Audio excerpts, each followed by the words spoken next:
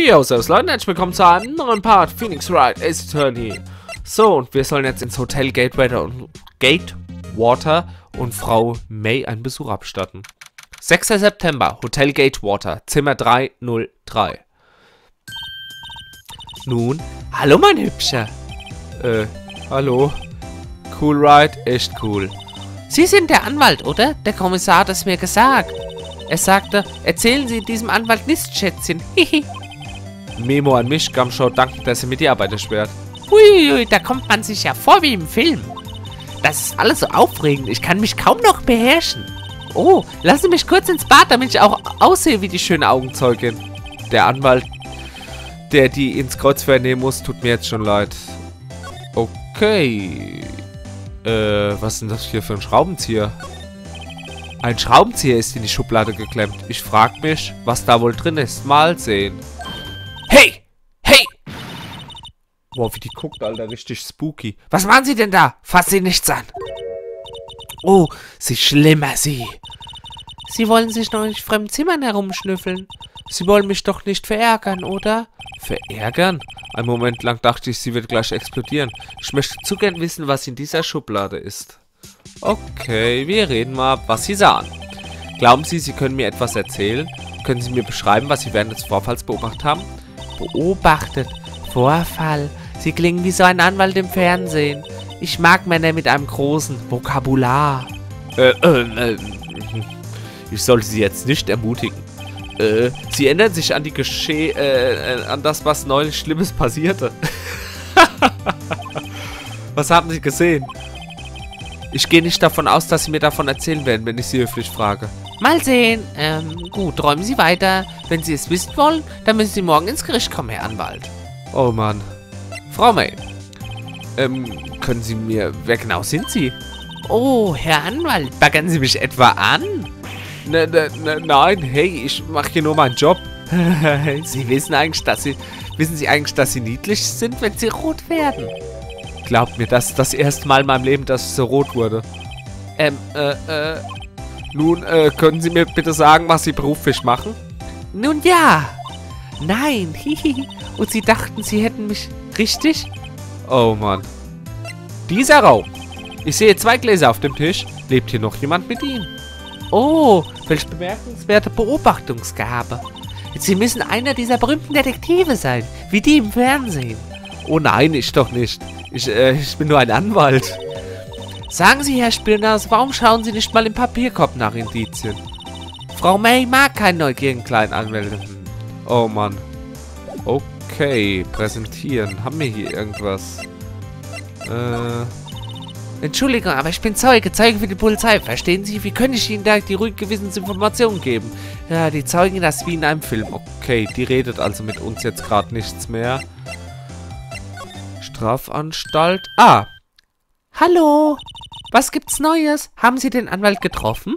Tut mir leid. Ich habe ihn noch nicht getroffen. Ich verstehe. Hm, ich werde best diesen Staranwalt auftreiben, von dem sie sprach. Okay, gehen wir mal zum Rossberg. Äh, Großberg, nicht Rossberg. Hm, sieht aus, als wäre Herr Großberg immer noch da. Vielleicht sollte ich hier auf ihn warten. Ähm, das war wohl das deutlichste Räuspern, das ich je gehört habe. Oh, also Sie sind derjenige, der mich sucht. Äh, ja, der bin ich. Er sieht sogar noch größer aus, als ich gedacht habe. Hm, das Abzeichen an Ihrem Kragen. Demnach sind Sie Anwalt, richtig? Äh, ja, das stimmt. Und was wollen Sie? Ich habe zurzeit nicht so viel zu tun. Bitte fahren Sie fort. Nicht viel zu tun? Warum ist es denn so dann so schwer, ihn anzutreffen? Hm, stimmt etwas nicht. Sie kam, um den einzigartigen Marvin Grossbeck zu sehen, stimmt's? Nun, hier bin ich, mein Junge. Was wollen Sie? Raus mit der Sprache. Ähm, nun gut, es geht um Maya. Maya Fay. Hm? Ähm, ähm, ja, Maya Fay, fahren Sie fort. Hm, warum diese merkwürdige Reaktion? Ah, schau, schau. Ich habe sehr viel zu tun, mein Junge. Ich kann keine Fälle von heute auf morgen übernehmen. Das ist unmöglich. W warten Sie einen Moment. Woher wussten Sie, dass die Verhandlung morgen stattfindet? Ähm, äh, wie auch immer. Ich fürchte, ich kann diesen Fall keinesfalls übernehmen. Ende der Diskussion. Oh. Was hat das zu bedeuten? Er hat abgelehnt, ehe ich ihn überhaupt gefragt habe. Was sage ich Maya nur? Den, mit dem reden wir doch mal die Ablehnung. Wie können Sie einfach so ablehnen? Warum können Sie den Fall nicht übernehmen? Hm, ah, sehen Sie, es ist so. Ich bin sehr beschäftigt, wissen Sie. Aber der Klient ist Mia Fays Schwester. Hm, ähm, Mia hat, Mia hat Ihnen vertraut. Sie wusste, Ihre Schwester würde in guten Händen sein. Ja, ja, sicher. Das weiß ich. Wie auch immer. Oh, tut mir leid. Ich muss leider ablegen. Tut mir leid. Auf Wiedersehen. Grieche. Na gut. Ich habe keine Zeit mit Ihnen zu streiten. Ich werde mich woanders umsehen. Ich glaube nicht. Hä? Sagten Sie etwas? Ich sagte, ich glaube nicht. Was meinen Sie? Es tut mir wirklich sehr leid. Aber ich fürchte, dass kein Anwalt diesen speziellen Fall übernehmen wird. Tut mir sehr leid, mein Junge. Warum? Ich, das kann ich nicht sagen. Hm. Wenn wir jetzt bitte gehen würden, ich habe nichts mehr dazu zu sagen. Was geht hier vor? Mir. Woher wussten Sie das, Frau Fay? Hm. Sie arbeitete hier. Es ist sehr lange her. Hm, während ihres Studiums. Sie lernte meine Technik beeindruckend schnell. Eines Tages ist sie einfach gegangen. Sie hatte eine Mission, wissen Sie. Eine Mission? Man konnte es in ihren Augen lesen. Sie verfolgte sie mit feuriger Leidenschaft. Sie schaute nie zurück. Das Bild. Das Bild ist außergewöhnlich. Ah, ist Ihnen aufgefallen? Ist mir Freude, ist mir Freude und Stolz, ist beeindruckend. Nicht wahr? Nun, nicht wahr? Die Farbe des Himmels, die Nuance des Meeres, die Struktur des Strohhuts ist mindestens 3 Millionen wert. Aber ich werde mich nicht davon trennen. Nein, ich werde es nicht verkaufen. Nicht mal ihn. Nicht, dass ich interessiert gewesen wäre. Das ist nicht zu verkaufen. Ich, verkau ich kaufe auch nicht. Pff, was ein Typ. Aber er hat abgelehnt. Und diese Reaktion. Irgendwas ist hier doch ganz, ganz faul. Oh, 6 September, 15.42 Uhr, Strafanstalt, Besuchraum. Um 16 Uhr brauchst du einen Verteidiger. Äh, hallo? Oh, Sie sind wieder da. Haben Sie den Anwalt gefunden? Hm, naja, was sagst du ihr denn jetzt? Nun sehen Sie, sei einfach ehrlich. Ich, ich denke, Sie sollten diesen Mann nicht engagieren. Er erschien mir nicht er, er erschien mir nicht gesund zu sein. Er war nur noch Haut und Knochen. Der Humor ist auch geil. Was ist wirklich passiert? Hm. Sagen Sie nicht, hat er sich geweigert, mir zu helfen? Ja. Ich verstehe, dann bin ich jetzt ganz allein. Oh, die Musik. Der Tag des Mordes. Können Sie mir vom Tag des Mordes erzählen? Tut mir, leid, ich weiß, dass es schwer für Sie sein muss. Nein, das ist schon in Ordnung. In den letzten Stunden habe ich nichts anderes getan, als darüber zu reden. Ich habe mich daran gewöhnt. Mal sehen, an dem Morgen rief mich meine Schwester an. Sie bat mich, ein Beweisstück für einen ihrer Prozesse aufzubewahren. Das ist die Uhr der Denker, die Larry gemacht hat. Das macht es fast schon zu einem Serienmord. Wann sind Sie im Büro angekommen? Das war so gegen 21 Uhr. Das Licht war aus und es roch nach Blut. Da, dann habe ich sie gefunden, meine Schwester. Danke, Maya. Das ist alles, was ich im Moment von Ihnen hören wollte. Ihre Familie. Erzählen Sie mir von Ihrer Familie. Ich hatte nur meine Schwester. Mein Vater starb, als ich noch sehr klein war. Und ich weiß nicht, wo meine Mutter ist. Das weiß sie nicht. Dann könnte sie noch leben? Ihre Mutter. Die Frauen in meiner Familie waren schon seit Generationen Mädchen. Man sagt, dass übersinnliche Kräfte uns im Blut liegen. Vor ungefähr 15 Jahren war unsere Familie in einen Vorfall verwickelt. Da war ein Mann, der, der... Er hat das Leben unserer Mutter ruiniert. Ruiniert? Danach verschwand sie. Viele Jahre später verkündete meine Schwester, dass sie Anwältin werden wolle und verließ den Berg. Also, Sie leben alleine? Ja, ich habe mich daran gewöhnt. Nun ja, ich musste selbstständig werden oder ich hätte meine Kräfte verloren. Sie tut mir leid, so allein oben auf diesem Berg. Feind ihrer Mutter. Sagen Sie, wer war dieser Mann, der Ihre Mutter ruiniert hat? So etwa vor 15 Jahren, da gab es einen ungewöhnlichen Mordfall. Er verursachte großen Wirbel, beinahe jeder sprach darüber. Die Polizei trat auf der Stelle und verzweifelte fast. Moment, die haben doch kein Medium eingesetzt, oder? Die Polizei überredete meine Mutter mit dem Opfer Kontakt aufzunehmen. Wow, und was ist passiert? Der Fall wurde gelöst, dachten wir. Sie dachten? Der Mann, den meine Mutter überführen... Äh, was? Den meine Mutter überführen half, war unschuldig. Hä? Die Zusammenarbeit der Polizei mit meinem Medium wurde natürlich geheim gehalten, aber ein Mann fand es heraus und verriet es an der Presse. Er erzählte den Medien, dass meine Mutter eine Lügnerin sei und sie stürzten sich darauf. Sie, meine Mutter, wurde zum Gespött des ganzen Landes. Ich verstehe. White.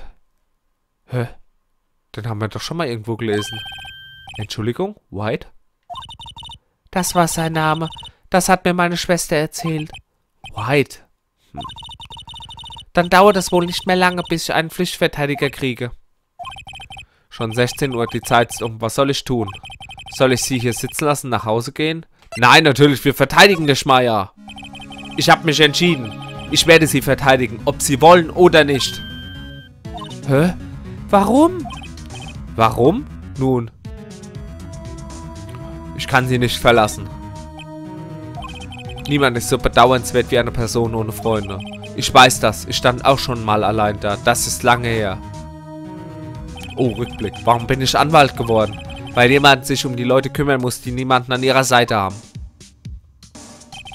Maya. Ich lasse Sie nicht im Stich. Sie können auf mich zählen. Das ist so lieb von Ihnen. Okay. Gut. Dann lassen Sie uns das hier durchstehen und Sie hier rausholen. Ja, ja, einverstanden. Vielen Dank. Wow, sie lächelt endlich. Sie sieht gleich wie eine völlig andere Person aus. Eine letzte Frage. Sie sind unschuldig, oder? Ja. Und ich vertraue Ihnen. Und Sie vertrauen mir auch, okay? Abgemacht. So, wie geht es weiter? Da ist etwas, das mich schon lange beschäftigt. Was war in der Schublade dieser seltsamen Frau? Als ich versuchte hineinzusehen, wurde sie nervös. Da muss etwas drin sein. Okay, und wir bewegen uns nochmal zur Frau April Mays Zimmer. Guten Tag, der Herr. Entschuldigen Sie, wer sind Sie? Oh, ich bitte um Verzeihung, mein Herr. Ich bin der Page dieses Etablissements. Steht zu Dienst, mein Herr. Ah, in Ordnung. Ich bin gekommen, um Ihnen Ihre Bestellung aufs Zimmer zu bringen, mein Herr. Äh, wissen Sie, wo Frau May sein könnte? Äh, unser Gast, Frau May, nutzt wohl gerade die sanitären Einrichtungen. Wenn Sie keine Wünsche haben, werde ich mich empfehlen. Bitte bleiben Sie so lange Sie möchten. Genießen Sie. Ja. Äh, nein, warten Sie. Hey. Warum blamiere ich mich eigentlich jedes Mal, wenn ich hier bin? Moment mal. Das ist meine Chance, ein wenig zu schnüffeln. Oh, ich hätte fast vergessen. Ah, da sind Sie ja wieder. Darf ich Sie bitten, Frau May zu informieren, dass eine Nachricht für Sie vorliegt? Sagen Sie ihr bitte, dass Herr White von Blue Corp angerufen hat. Oh, ja sicher. Herr White von Blue Corp? Wo habe ich den Namen schon mal gehört? White. Das war sein Name. Das hat mir meine Schwester erzählt. White war der Name des Na Mannes, den der Mias und Mayas Mutter ruiniert hat. Kann das ein Zufall sein? Okay, wir untersuchen schnell die Schublade. Ein Schraubenzieher steckt zur Hälfte in dieser halboffenen Schublade. Das ist meine Chance herauszufinden, was da drin ist. Hä? Na, was haben wir denn da? Eine Wanze? Was macht eine Frau wie Sie mit so etwas? Wanze in Frau Mays Hotelzimmer gefunden. Diese Frau May ist definitiv verdächtig. Warum sollte sie so etwas in ihrem Hotelzimmer haben? Dafür muss es einen Grund geben. Ich weiß es. Na gut. Ich werde diesen Hinweis morgen vor Gericht verwenden. So viel ist sicher. Und was Maya betrifft, ich werde diese Frau aufknöpfen. Äh, ich meine, ich werde sie mir vorknöpfen. Oh, Page, immer noch hier. Oh, oh, Zeit zu verschwinden. Ich freue mich schon auf ein heißes Tänzchen mit Ihnen, Frau May. Vor Gericht. Sehr schön. Fortsetzung folgt. Oh yeah. Also, oh, Speichern wurde abgeschlossen und wir speichern dies natürlich unseren Spielfortschritt hierhin. Opala. Und es geht direkt weiter. 7. September, 10 Uhr. Bezirksgericht, Gerichtssaal Nummer 1. Okay. Das Gericht verhandelt jetzt im Prozess gegen Frau May Fay, Maya Fay. Die Staatsanwaltschaft ist bereit, Euer Herren. Die Verteidigung ist bereit, Euer Herren. Miles Edgeworth. Ich darf heute keine Schwäche zeigen, sonst wird er sofort an mir rummeckern. Herr Edgeworth, das Gericht bitte, bittet Sie um Ihr Öffnungsplädoyer. Danke, Euer Ehren. Die angeklagte Frau Maya Fay befand sich am Tatort. Der Staatsanwaltschaft liegen Beweise vor, dass sie den Mord verübt hat. Und wir haben einen Zeugen, der sie dabei gesehen hat. Die Staatsanwaltschaft hat keine Zweifel über die Fakten in diesem Fall, Euer Ehren. Ich verstehe. Vielen Dank, Herr Edgeworth. Dann lassen Sie uns beginnen. Wenn wir unseren ersten Zeugen aufrufen dürfen, Euer Ehren. Die Staatsanwaltschaft ruft Inspektor Gumshow, zuständiger Beamter am Tatort, auf.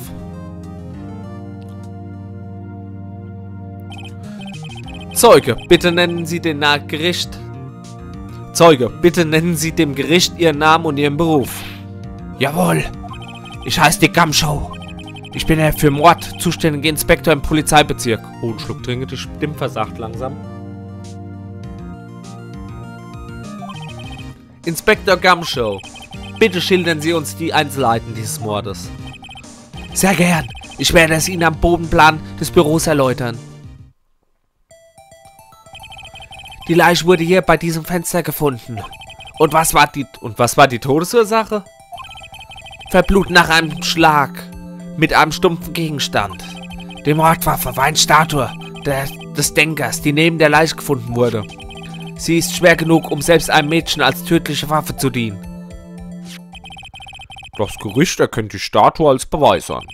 Sie bezeichnen die Mordwaffe immer noch als Statue. Bodenplan zur Gerichtsakte hinzugefügt. Der Tatort die Anwaltskanzlei Fay und Partner. Nun, Inspektor. Ja. Sie haben Frau Meyer Fay, die sich am Tatort befand, sofort verhaftet. Richtig. Können Sie mir sagen, warum? Ja, sicher. Es gab eindeutig Beweise, dass sie es war. Hm, Inspektor Gamshow, bitte sagen Sie vor dem Gericht über diese eindeutigen Beweise aus. Zeugenaussage, Meyer Fays Festnahme. Als der Anruf kam, eilte ich sofort zum Tatort. Dort befanden sich bereits zwei Personen. Die angeklagte Frau Meyer Fay und der Anwalt Herr Phoenix Wright. Ich habe Frau Meyer Fay sofort festgenommen. Warum? Wir hatten eine Zeugenaussage mit ihrer Beschreibung. Die Zeugin hat Frau Meyer Fay genau zum Zeitpunkt des Mordes gesehen. Hm, genau zum Zeitpunkt, sagen Sie. Nun gut, Herr Wright, Sie können mit dem Kreuzfahr beginnen. Ja, Euer Ehren. Was soll ich nur fragen? Ich habe keinen einzigen Widerspruch in dieser Aussage finden können. Uff. Hey, Maya hat mir etwas gerade nach mir geworfen. Was ist das? Wenn meine Schwester keinen Widerspruch in der Aussage eines Zeugen finden konnte, dann hat sie geblufft und den Zeugen zu jeder Details ausgequetscht. Der Zeuge verstrickt sich immer in etwas und sagt was Falsches. Das hat sehr oft funktioniert. Hey, hätte ich mir denken können, dass Maya einige Tricks ihrer Schwester kennt. Also gut, ein Versuch ist wert, genau. Ähm, ist irgendwas? Äh, nein, euer Herren. Ich würde gerne mit dem Kreuzfahr beginnen. Genau. Ja, und ähm, Kreuzverhör, Maya Face festnahmen. Und es ist immer so, das kann man ja auch mal kurz erklären, wenn der Inspektor, dadurch, er hat ja keinen Grund zu lügen. Also wenn irgendwie ein Widerspruch oder wenn man den Inspektor was fragt, er ist ja in dem Falle kein Zeuge oder sonst irgendwie was. Man kann ihn einfach fragen, irgendwelche Sachen, weil äh, er ist ja Polizist, also er ist ja jetzt keine Person, die irgendwie Dreck am Stecken hat oder so. So, dann greifen wir doch mal an. Moment mal. Von wem sagten Sie, wurden Sie angerufen? Hey, mein Lieber, stellen Sie sich nicht so blöd, Sie wissen genau von wem. Der Anruf kam von einem Gast aus dem Hotel Gatewater, genau gegenüber vom Tatort. Oh, mit dem Inspektor Gamshaw seiner Stimme bin ich noch nicht so ganz zufrieden. Muss mal gucken, wie ich den noch spreche. hm, ich habe eine Aussage. Ich habe seine Aussage angegriffen, hat wohl nicht viel gebracht. Richtig, bitte fahren Sie fort. Alles klar, da fragen wir uns mal. Inspektor Gumshow, wissen Sie, wie viel Zeit vergangen ist? Zwischen dem Eingang des Anrufs und Ihrer Ankunft am Tatort. Hm, nun, ich würde sagen, es waren circa drei Minuten. Das war ja richtig schnell. Unser Motto für diesen Monat ist schnell reagieren. Darum war ich da, bevor der Mörder abhauen konnte. In der Tat. Sagen Sie uns doch bitte, welche beiden Personen Sie am Tatort eingetroffen haben. Ja, gern. Die Angeklagte Frau Meyer Fay und der Anwalt Herr Phoenix Wright. Okay, fragen wir nochmal. Sind Sie sich absolut sicher, dass wir beide waren? Ja gut, das war eine doofe Frage. Du warst ja selber dort, Phoenix. Hör mal gut zu, mein Lieber. Deine blöde Masche bringt hier gar nichts. Die Kleine mit ihren Hippie-Klamotten und sie mit ihrer Igelfrisur. Ihr zwei seid so auffällig wie, wie Verdächtige an einem Tatort. Hm, nun, was sie betrifft, hat er nicht ganz unrecht. Sie ist unverwechselbar. Ich sollte die Punkte, die ich angreife, vorsichtiger auswählen. Ich habe Frau Face sofort festgenommen. Da fragen wir auch nochmal, warum? Was ist der Grund? Warum wir meinen Zeugenaussagen mit ihrer Beschreibung? Okay. Warten Sie mal. Ja. Wenn ich richtig verstanden habe, haben Sie gesagt, Sie hätten sie verhaftet, da eindeutig Beweise gegen Sie vorliegen. Hä? Ich, ich soll das gesagt haben? Ich habe es genau gehört. Sie haben Sie haben es wirklich gesagt. Sie haben es gesagt. Was an der Behauptung dieser verdächtigen großer Dame waren eindeutige Beweise. Oh, eine Stimme versagt. Äh, wie bitte? Frau May ist nicht verdächtig und sicher auch nicht Rosa, mein Bester. Na gut, ich denke, sie ist wohl doch Rosa. Das reicht, Inspektor Gomshow. Haben Sie irgendwelche handfesten Beweise außer Ihrer Behauptung, Inspektor? Ähm, hm, ich denke, angreifen kann so seine Vorteile haben. Ja. Hä? Mist. Tut mir leid. Ich habe... Wie könnte ich den denn sprechen? Tut mir leid. Ich habe einiges bei meiner Aussage durcheinander gebracht, Euer Ehren. Es gibt da was, was ich Ihnen als erstes hätte sagen sollen, Euer Ehren. Das, so, das ist eigentlich eine gute Stimme. Nun gut, Inspektor, dann wollen wir Ihre Aussage doch mal anhören. Eindeutige Beweise. Und diese eindeutigen Beweise hören wir beim nächsten Mal hier bei Phoenix Wright, Ace Attorney. Macht's gut, Leute. Ciao, ciao.